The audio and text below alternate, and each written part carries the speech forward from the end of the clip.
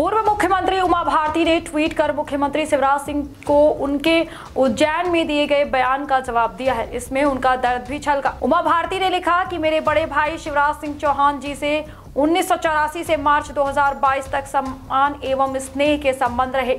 Shivraj ji office जाते समय मेरे हिमालय प्रवास के समय या फिर मेरे किसी भजन का स्मरण आने पर या तो मुझसे मिलते थे या फ़ोन करते थे। मैंने शिवराज जी से दो साल हर मुलाकात में शराबबंदी पर बात की है। अब बात बाहर आ गई है तो भाई ने अनबोला क्यों कर दिया? मीडिया के ज़रिए क्यों बात करने लगे हैं?